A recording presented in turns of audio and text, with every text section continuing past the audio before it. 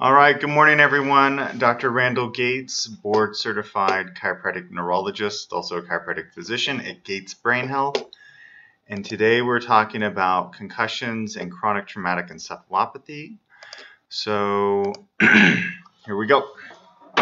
Okay. So, starting this discussion, we can't really go too far before we mention the individual who pioneered uh, this diagnosis and who deserves a tremendous amount of credit and, in my opinion, was rather heroic in the way he stood up for what he was observing. And so his name is Dr. Omalu. He's the the cornerstone, so to speak, of the movie Concussion. If you haven't watched it, I recommend you go and watch it because it's a great movie. And regardless of your opinions on professional sports and things like that, it's a good example of someone who followed their heart and followed their mind in describing something they felt was valid, which also brought a lot of validity to former athletes who were suffering and their lives were in shambles, so to speak, after playing years and years of contact sports. Uh, Dr. Omalu's work has really reframed how we look at contact sports. It has reframed the seriousness of concussions and repetitive head impacts or subconcussive head impacts. And with his work now, we, we give concussions a lot more emphasis, so to speak.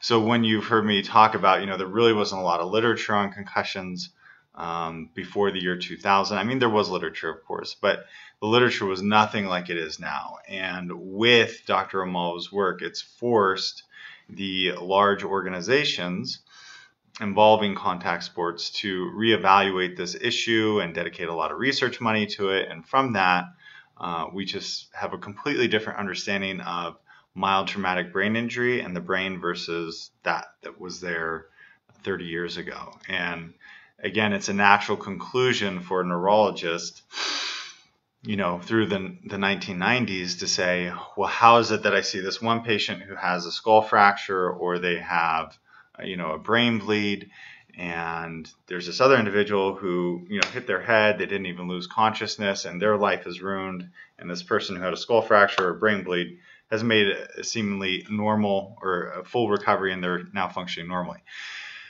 So that was the prevailing view in neurology until Dr. Omalu who, uh, you know, is just one of those serendipitous uh, events in human history where he's a neuropathologist and he happens to be the one doing the autopsy on a retired former professional football player who was suffering greatly with memory loss and mood and behavioral disturbance from from what I could appreciate.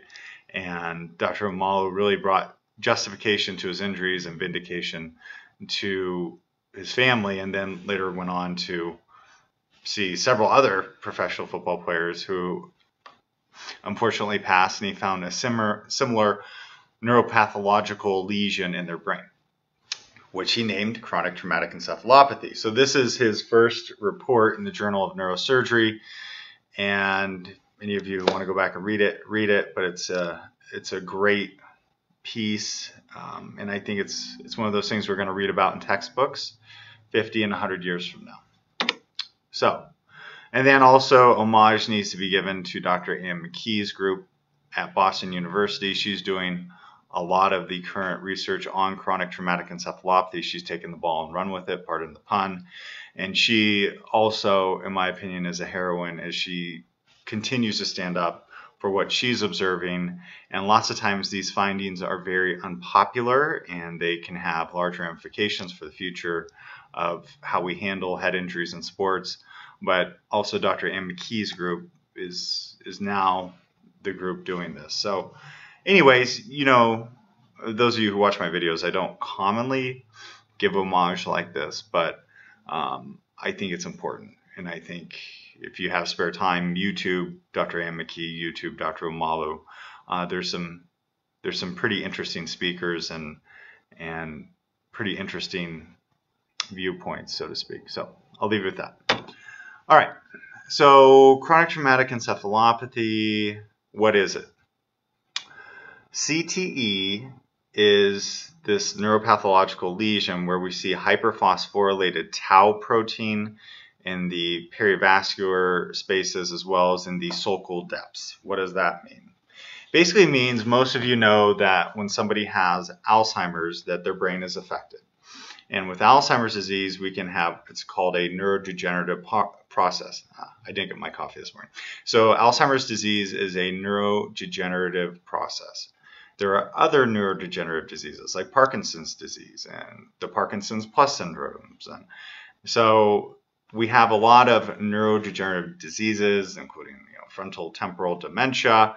There are all these different conditions which cause the brain to, in essence, atrophy or areas to atrophy, and then we get symptoms.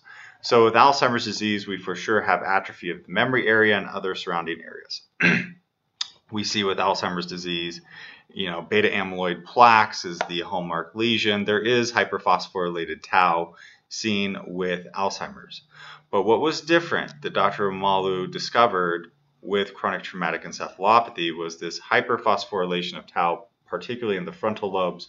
And you notice what I mentioned in the sulcal depths. So here we have the sulci. You notice deep down in there that there was a lot of tau in a different kind of disbursement than you would see typically with Alzheimer's. And he also saw that you know, in the perivascular regions as well. So there's kind of a different distribution, so to speak, to this accumulation of tau protein. And what is tau? Tau is, you would think of it as like the two by fours, so to speak, of your neuron. So envision the room you're in and envision that that is a neuron.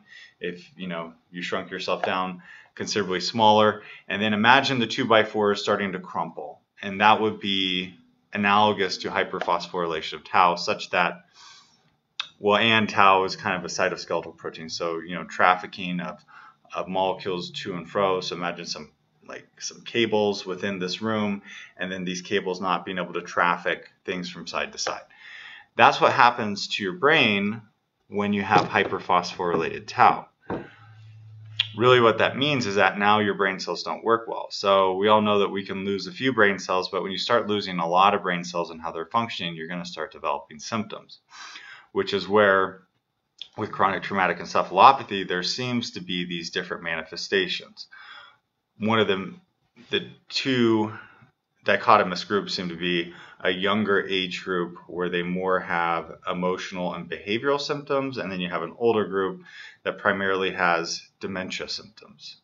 Needless to say, you have younger individuals overall, even the older group, you know, they may be 50 years old and they're demonstrating signs of dementia. Overall, you have this younger group of people who are now manifesting neuropsychological symptoms or memory related symptoms that they shouldn't have.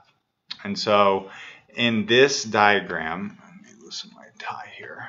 In this diagram, you're going to see this is what a normal brain tissue specimen should look like, a cross section. Here, these kind of maroon spots relate to, in essence, hyperphosphorylated tau. They basically, this is an antibody to tau protein that immunofluoresces.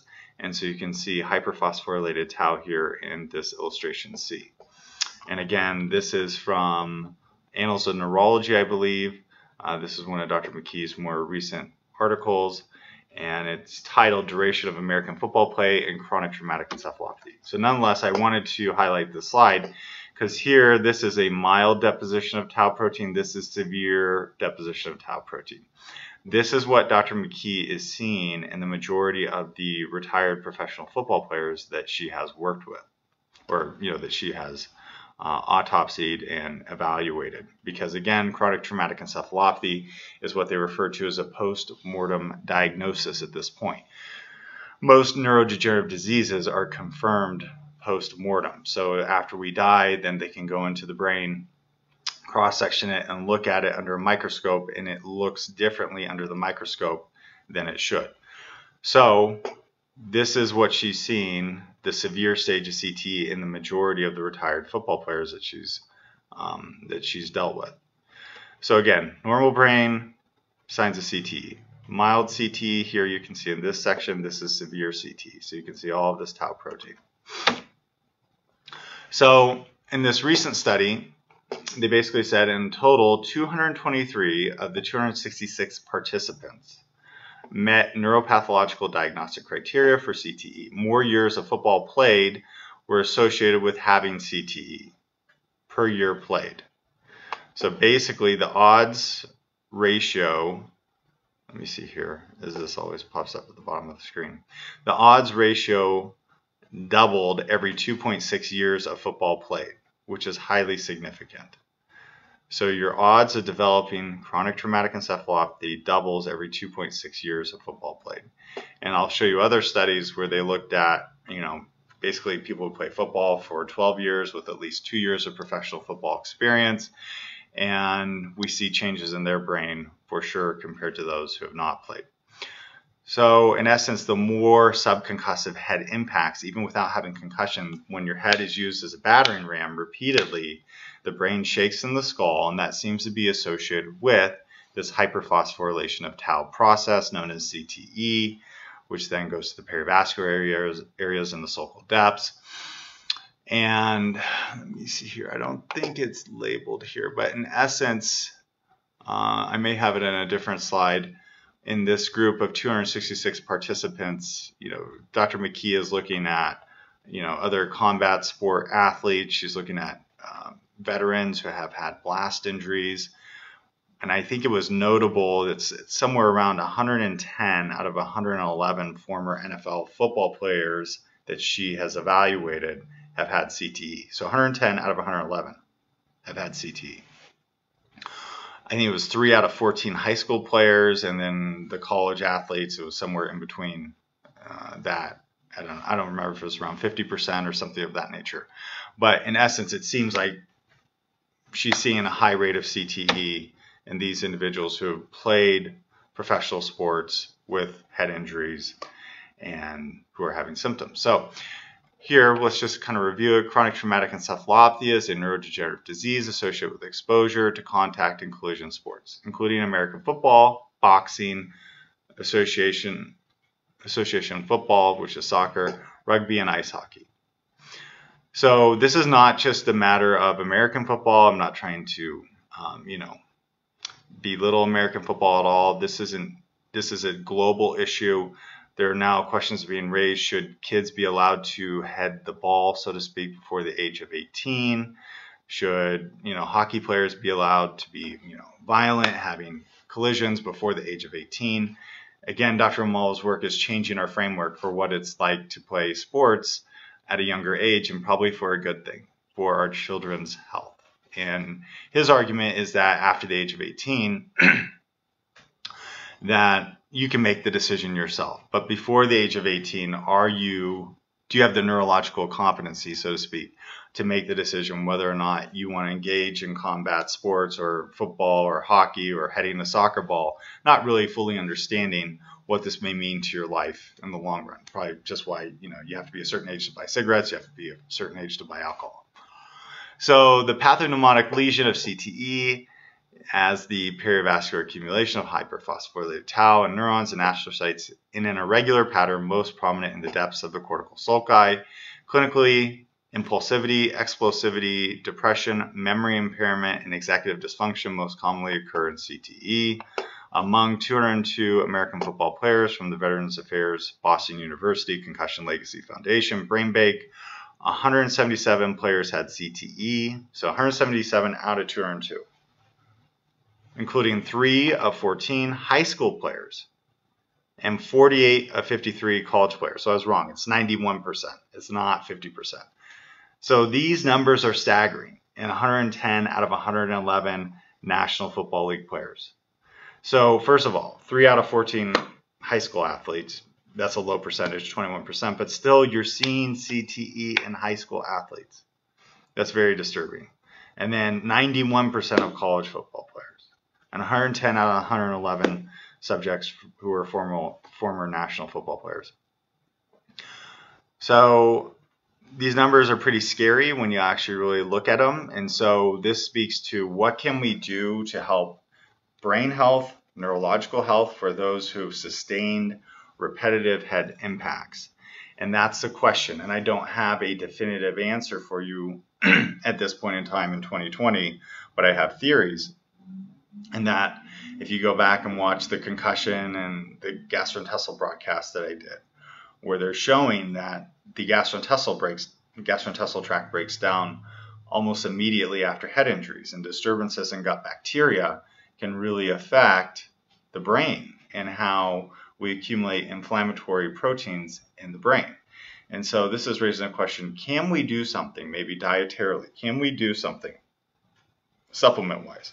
Can we do something from an anti-inflammatory aspect that will maybe help to slow down this process CT? That's the thought. I can't say that that is the case. I can't say that that is the conclusion, but that is the hypothesis. At least that I'm working with at this point in time. Now, this study, lasting consequences of concussion on the aging brain, findings from the Baltimore longitudinal study of aging. This is from NeuroImage, I believe in 2019 or 2020. This is a cool study because they looked at individuals who had concussion, so not as much repetitive head impacts or subconcussive head impacts, but they looked at individuals who had had a concussion versus those who had not had a concussion. They compared one group to the other group. So you had 51 participants um, basically who had had a concussion in their medical history, 150 participants with no history of concussion. Basically, they saw that those with concussion uh, had greater atrophy in the temporal lobe, white matter, and hippocampus at first imaging visit. Again, the hippocampus is your memory area. Those with prior concussion also showed differences in white matter microstructure using DTI, including increased radial, radial and axial diffusivity in the fornix, striatum terminalis, anterior corona radiata, and superior longitudinal fasciculus. Those are all big words, basically meaning white matter tracts that are running through different parts of the brain and connecting the temporal lobes to the frontal lobes and things like that. So just with a history of concussion, not necessarily repetitive head impacts, we're seeing long-term changes in the brain. So they said there, these results also suggest that many of the reported short-term effects of concussion may still be apparent later in life. And here's their DTI imaging of the temporal lobes. And this is one of my favorite articles too, because again, chronic traumatic encephalopathy is a post-mortem diagnosis. So let's say you're a military veteran and you've been exposed to several blast injuries and your spouse notices that you're acting differently and now you have impulsivity in a way you didn't used to and you're becoming angry much more easier than you used to and you're feeling more depressed than you used to. And you may have the question do I have CTE or maybe you're a retired professional football player or maybe you played college football or maybe you were a boxer. And so the question is, well, do I have something going on now? And I would say one of the best things in terms of the most cost effective and best things you can do to hypothetically evaluate that would be to get a volumetric MRI. A volumetric MRI looks at the density of different areas of the brain. And so with a volumetric MRI, we can compare your density in every area of the brain compared to age-matched normals. In fact, the, Na the National Institute of Health, sorry, I have an ear popping going on. The National Institute of Health has a data bank, I think it's of around 3,000 people for every age group of what you know the standard brain should be in terms of density for those who haven't had trauma. And so we can then compare that to basically we can compare somebody who's had head injuries to someone who has not had head injuries. And so this is an image of a volumetric MRI of the cingulate gyrus, the hippocampus, and the amygdala. And they in essence showed that in these retired professional football players that there were reduced volumes of the limbic system structures in former NFL football players are associated with neurocognitive features of CTE.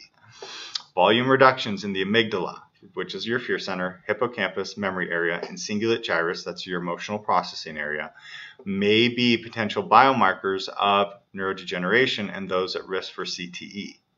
So that's where volumetric MRI is so cool, and that's where volumetric MRI is taking off for conditions like Alzheimer's disease, because we can see, hey, you know, your mom has Alzheimer's, Does it look like your memory area is shrinking? Now we can start to employ the same type of imaging, which is different from your standard brain MRI. Your standard brain MRI is just looking at, you know, for tumors, strokes, signs of MS, things like that. This volumetric MRI looks different when you look at the images and it gives you a different percentile reading saying, hey, you're losing density in your emotional processing area. Maybe we need to do something about this. Let's look at this. Um, so that's my perspective again and my hypothesis, but that would at least give you a baseline um, to work from. Again, I'm not treating you, you're not my patient, but I'm just trying to give all of you the information in the most current format so that you can make good decisions for yourself and your brain health. So yeah, so that's it. So that's the that's the talk on chronic traumatic encephalopathy. It's a pretty involved topic and sometimes trying to distill down the nuances to make it palatable is not always so easy, but I hope you found this helpful. Um, go ahead and like this video, subscribe, and let us know your thoughts or questions. And let me just check Facebook to see if there's anything else going on. Let me see here. And good morning to all those who joined, and happy weekend to all of you. And I will see you later. Okay.